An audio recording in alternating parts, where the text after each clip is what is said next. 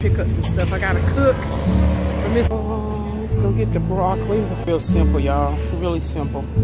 You know what? Actually, they got a good deal on a uh, five pound bag. Onion. I almost forgot to get the mushrooms, y'all. Can't do that. Add them in so these uh, patties can be a little bit juicy. I almost forgot to get the mushrooms. This is paying homage to my mom.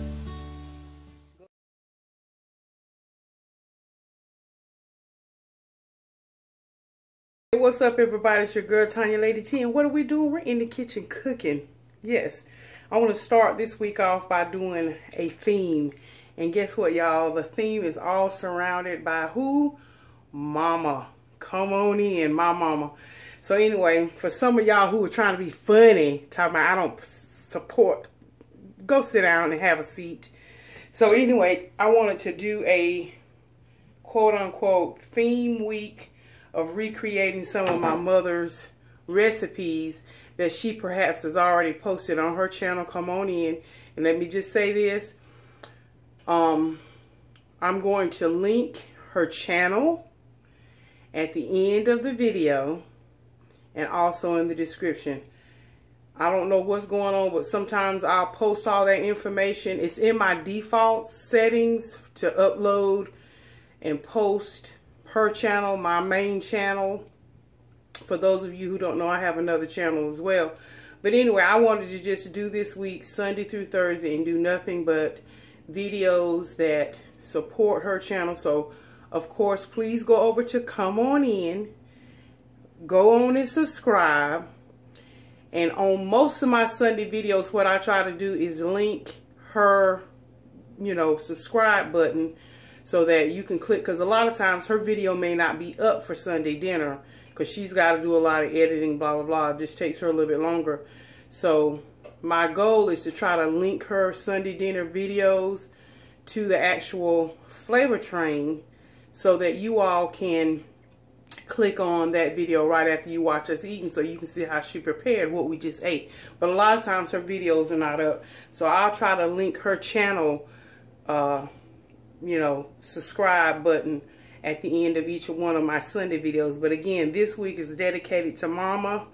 So show her some love. Let's get her to 10,000 subscribers plus by the end of this year. Can we do it? Can we do it? So anyway, what I'm doing today, because I've got to cook for Mr. Silver Fox, uh, I'm doing hamburger steak or just hamburger patties with onion, gravy, mushrooms, and I'm making some homemade mashed potatoes, and we're doing broccoli. So that's what we're doing today. Again, these are my themed videos in support of my mama.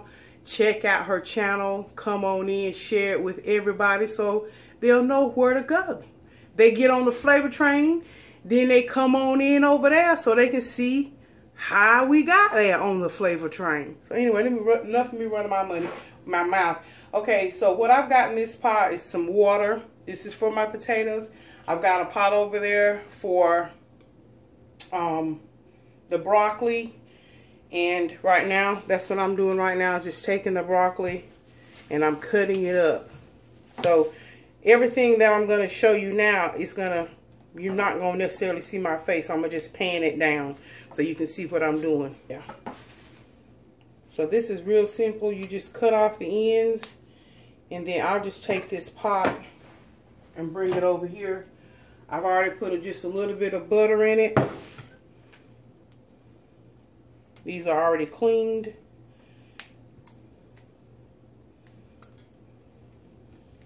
And you just break your florets off. And you make as many, as much as you want.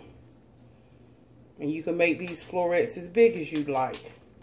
I'm just doing different sizes.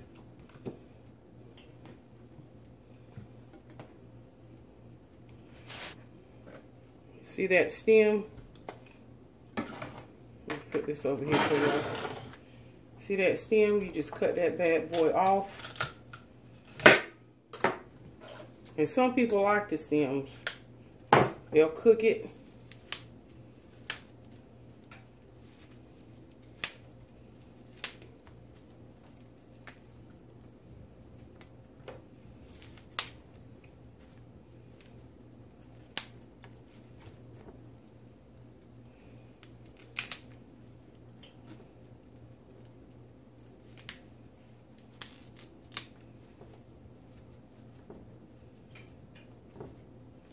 Okay, so it's full.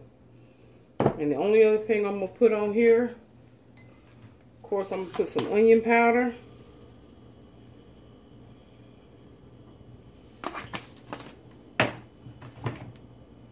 Some salt.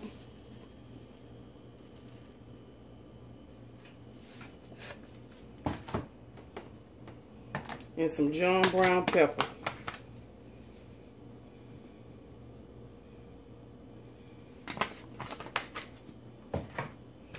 And I get this from the or the Asian market. This is chicken flavored paste.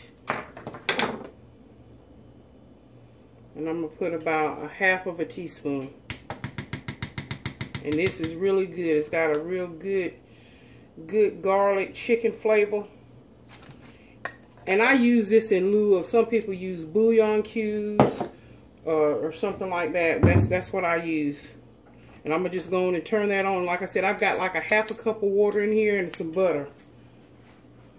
And I'm going to go ahead on and cut that bad boy on like 8 so it can bring it to a boil. And then we'll move on to the next step. We'll get the potatoes going. Okay, y'all, the next thing we're going to do is just peel these potatoes. I got me a bag of white potatoes. And just peel the skin off. And I've got one, two, three, four, five, six, seven. About three large and four small potatoes. And again, this is just real simple. You rest your thumb up against that potato. Or if some of y'all have peelers, you can buy the peelers. I'm old school. I like to use my, you know, my hand. And of course, if you see these little brown dots, just cut them off. Most potato bags of potatoes, you're going to have potatoes that's going to have little brown spots in them. And you just cut them out and keep on moving. Okay, when I come back, we'll, all these will be peeled and we'll just drop them in the hot water.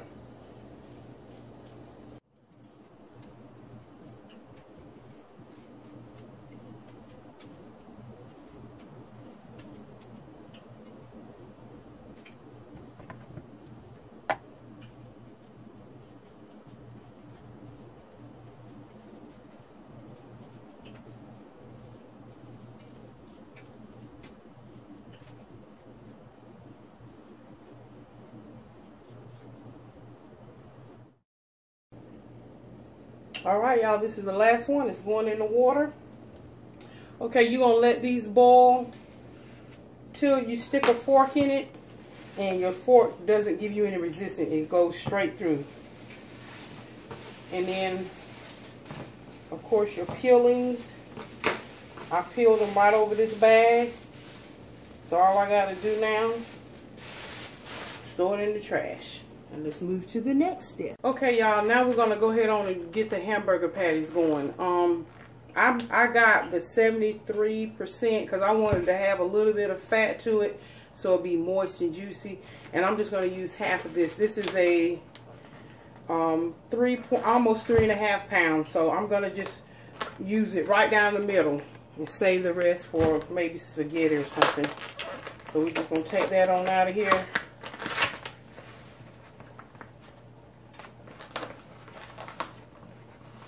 Put it on in this bowl. I got this bowl over here. Same bowl I used with the potatoes, I just rinsed it out.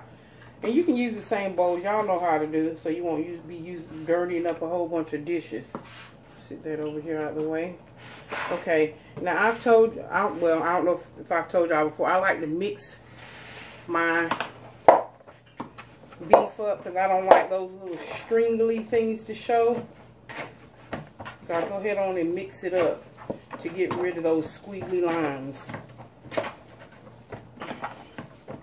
And then that broccoli, I've got it stuffed in that pan because I want it to like get the seasonings from the steam because I really want to steam them. I'm not trying to cook them thoroughly, just steam them so we still get those nutrients from the broccoli. And Mr. Silver Fox likes his uh, broccoli a little bit, not tough, but a little, has still has a little bite to it. Okay? Okay, now let me wash my hands right quick because we're going to, because I need to grab my seasoning so we get ready to season this neck. I also wanted to show y'all something. What I'm doing with this, since it's already measured out, I just cut this in half, and some of y'all already know to do this.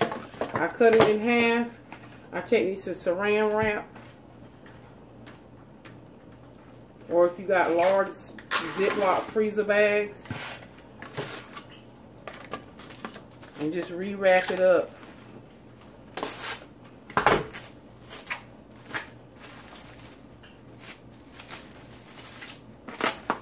Look at there. Re-wrap it up. And then go and take another piece and go the opposite way. This way.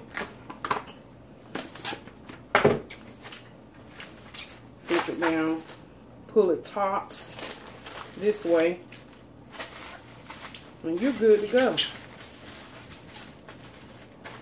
Suction all that air out that you can. Squeeze all the air that you can out. And put this down in the uh, freezer bag if you got one and you're ready for the next go round. Spaghetti, tacos, ole. Okay, y'all, I got a half of an onion left, and I'm going to just dice some up in here. Y'all know I got to have onions on the inside. So, go ahead on and get us some onion going up in there.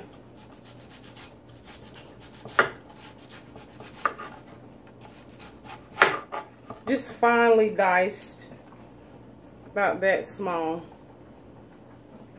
Okay, put that in there.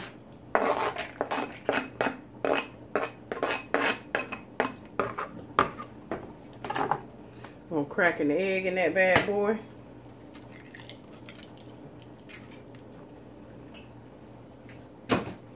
Trash can's right behind me. Okay, and now we're going to start with our seasonings. We're going to do some black pepper. And again, you season this to your tasting.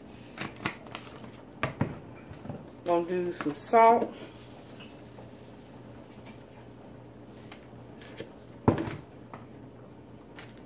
Some onion powder. Course, y'all know I'm generous with that. uh, we got some garlic powder going on.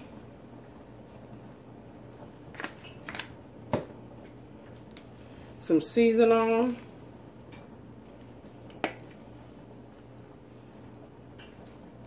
Ooh, right out of that. A little accent. I just do a dash of accent. And then we're going to do some minced all natural garlic. Let me get a little spoon.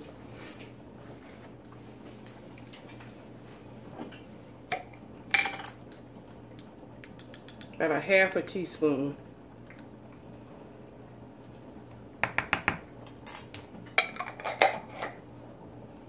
Okay. And one of the things I love to do is uh, put au jus gravy in it.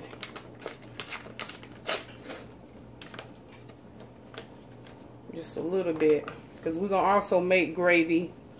But I like to also mix it in with the meat. Fabulous, honey. Fabulous okay and then you just you can put your gloves but I'm using my hand like I said it's just me and Mr. Silver Fox and we're gonna just mix that in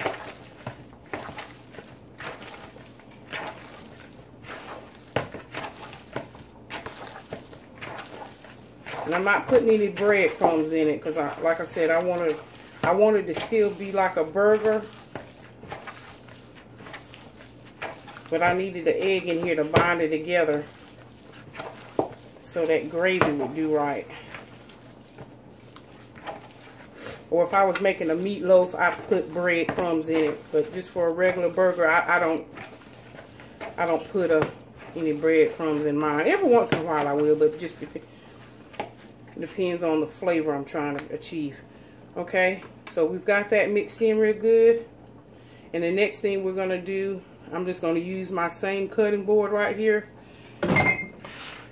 And we're just going to pat out these patties. And you can make them as big as you want to. Again, I like to make mine the palm, the size of the palm of my hand. And these will reduce down in size because like I said, the fat content is 73 or the lean portion I should say is 73 with a 27% fat. Okay. And then I take my knuckle and sort of make an indentation. Okay. Should be able to get four or five good size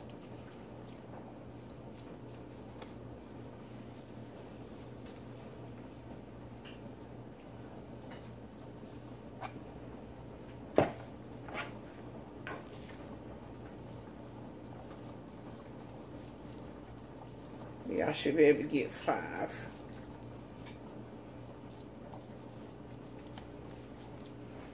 Again, this is just paying homage to my mama.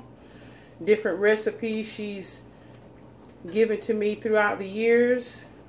I've modified it a little bit. But the theme is just paying homage to mama on Come On In.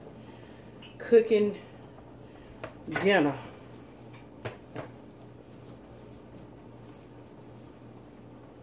Recipes my mama has shown me and cooked for me and my siblings throughout the years. And that's what it's about. So y'all have to go on over to her channel and see all the other fabulous recipes that she has cooked for me, my family, extended family, and friends. Yes, we love mama.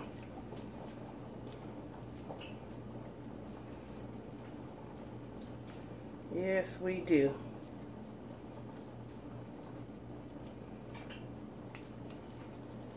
Okay, that's the last one. And what I'm going to do is clean up and we'll move on to the next step, y'all. Okay, y'all see how that broccoli has reduced? So we can just cut that completely off because that's done. And it'll just sit in the juices and seasonings. That is done. Completely done. Okay, y'all, now we're going to put our patties in the skillet. We don't have to put any olive oil or any grease because, like I said, it's 27% fat.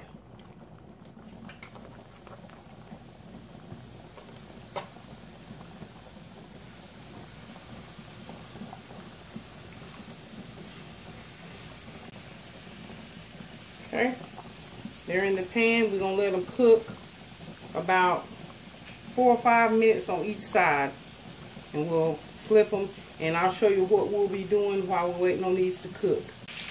Alright, y'all. It's time to flip. It's been about five minutes. Oh, look at that beautiful color. And these are thick, so that's why you have to cook them a little bit longer on each side.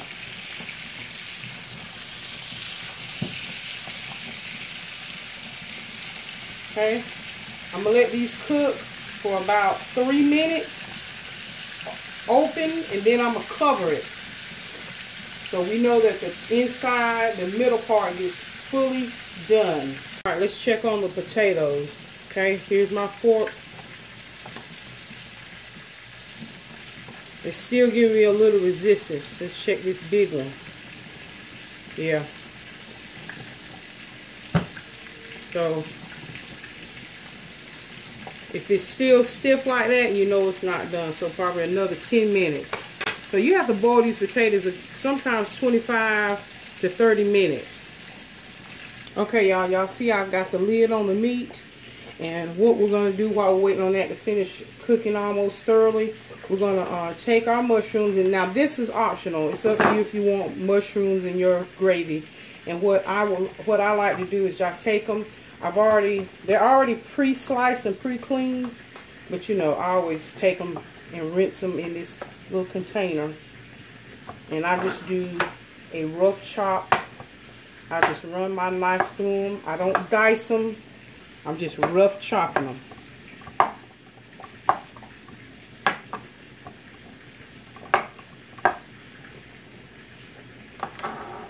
Let me get another plate to put these on.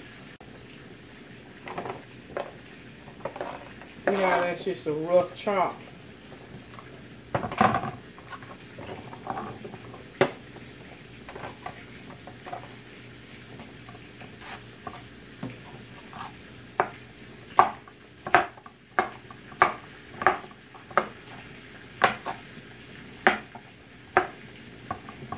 That's it. Put these over here. And then of course, y'all know I don't play around. I done told y'all about playing with me.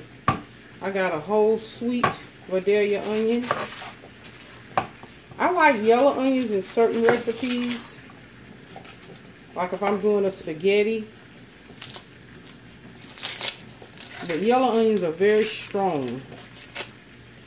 And sometimes I just don't like that strong taste in my hamburger. Because when it's, to me, yellow onions can be very bitter tasting. And I don't like that bitter taste. And so what I'm going to do is just cut this. Let me see. I'm sorry. Can y'all even see what I'm doing? I'm going to just cut this onion in half. And then I'm going to cut it downward because it gives me like the half moon. Cut that end off. I want to use that end.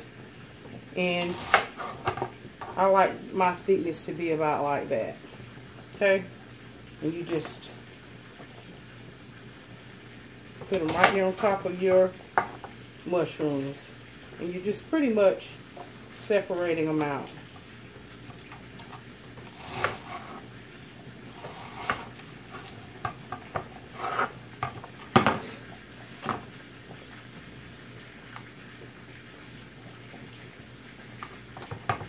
See, they're just half moons.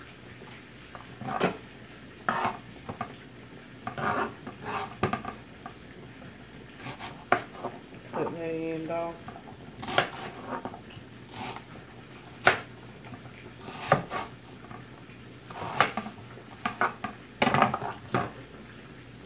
Okay, and just separate them that way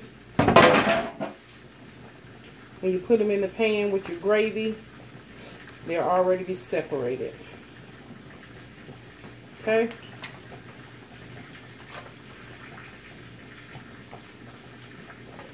I'm not going to put any season. Well, I, I tell you what, I'm going to put just a dash of salt on it. And let it sit. Till I'm ready to make my gravy. Okay, and these are what I'm putting in the skillet with my gravy. To make my gravy. Okay, y'all. Look at that beautiful meat. Would you just look at that? Are you kidding me? See how they reduce in size? Okay, y'all, we're going to take them out of the pan so we can go on and make that gravy. And I'm going to show you how I make my gravy, the Lady T style.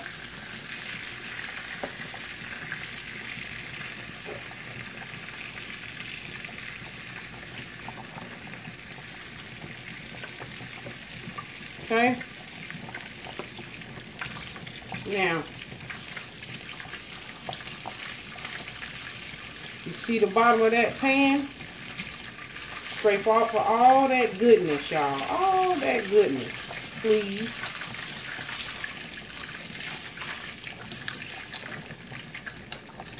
Now we're going to pour all these onions and mushrooms in that.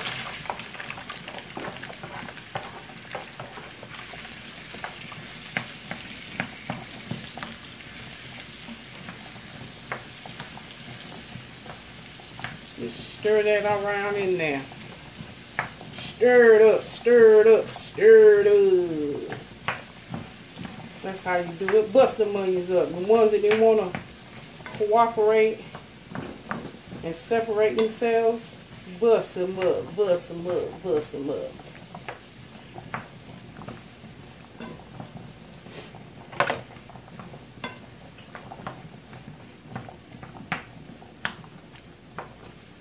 Just going to taste it. Oh, that, that gravy from the just that meat cooking. Are you kidding me? Get back in this, get back in it, get back in this pan. All right, y'all. Let's go and get the gravy part going. Make it my way using the gravy packets. Okay, y'all. I know how to make pan gravy from scratch, but like I said, when you're a working woman, you ain't got time to do all that. I mean, it's simple enough, but I like the flavor of McCormick. This is a half a cup, excuse me, a cup and a half of water. And I just, I'm pouring the rest of that au jus gravy in there. And then I'm using this brown gravy packet. And you use the whole packet.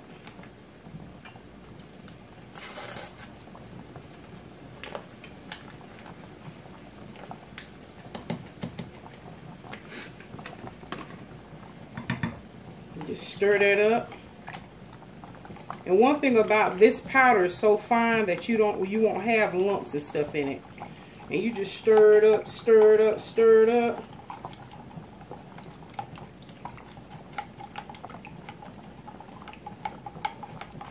And you pour that John Brown gravy off in there. Oh, it's gonna make you run to your mama house and slap. Not really. You see that, y'all? That's good eating. And then you add gravy for the mashed potatoes. Are you kidding me? And see, this is one way you can make homemade mashed potatoes by um from scratch because you're doing other stuff. Because after after these potatoes are boiled, it's gonna be simple. Little one, two, three. Understands what we need. All right, now we're gonna just put the meat back in there.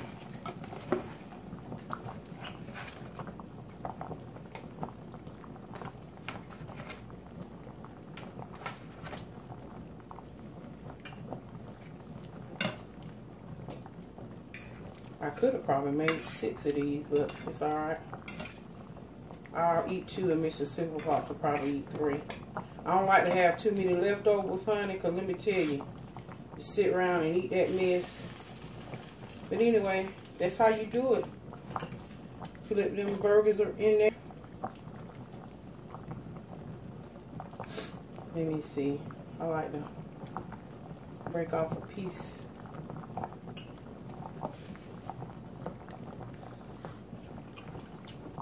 Oh, shoot. Oh, man. Oh, that's good, y'all. Stop it. I'm going to put this on two.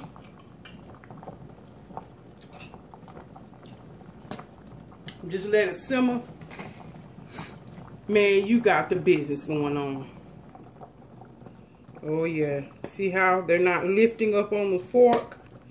They're ready. They are ready. Yep, when you can't pick them up with that fork, they're ready. Let's cut it off or drain it and then we'll start the mashed potato. Okay, y'all, we getting ready to do the potato mash.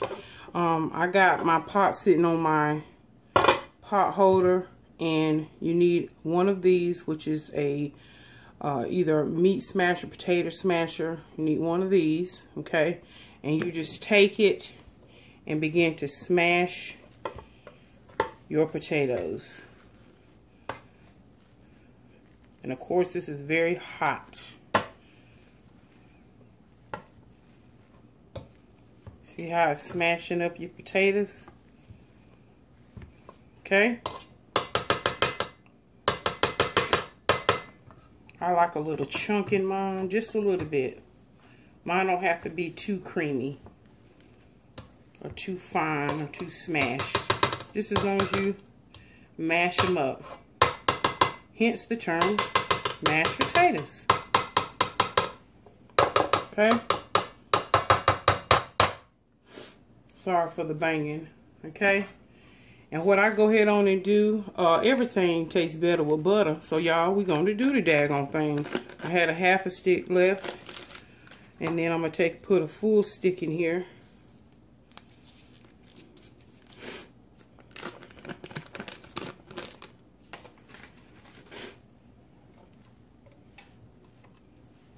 And the heat from the potatoes, of course, will melt down that butter.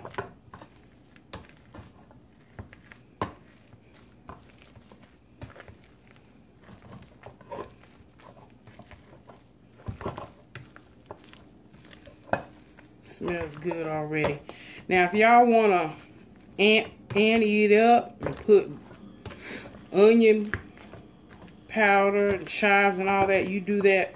We just want good, or I just want some good old fashioned mashed potatoes, buttery mashed potatoes. Okay.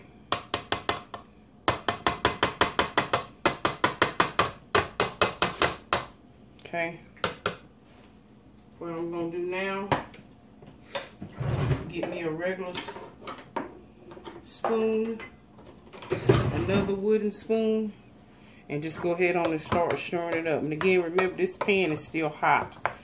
Now, some people like theirs this thick, and they're good to go. Okay? I'm just going to pour a little bit of milk. I don't like mine to be watery or too creamy. But I'm going to eyeball it and pour maybe a fourth of a cup of just a little bit at a time. And I can determine how the thickness of how I like it. So to thin it out, just put a little milk in it. But again, some people just like theirs real thick like that.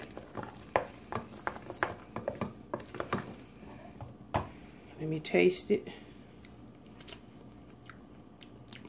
Oh my God, they're so good.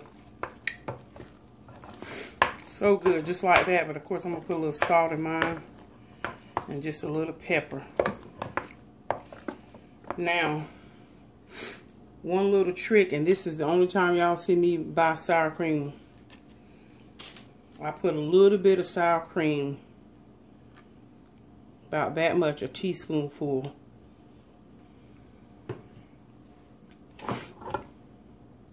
And it just, it, it just does something, it kicks it up a different notch.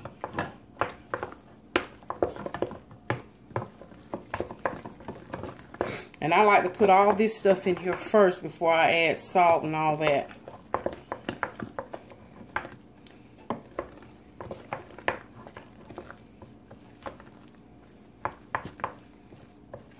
And I'll add a little bit more milk. And that should give me the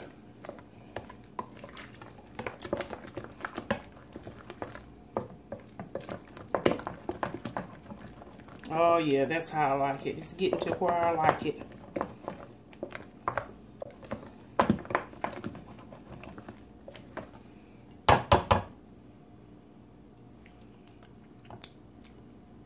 Mm, I'm telling you, that sour cream, I'm telling y'all, it just gives it just enough.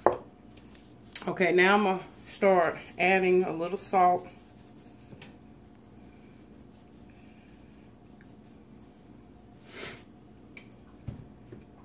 and a little pepper. And again, when you're cooking this type of stuff, just add a little bit for taste. When people fix their plate, they can adjust the salt level.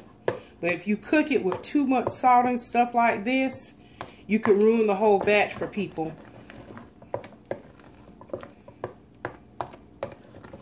Let them adjust their salt level. They need more salt, they'll add it.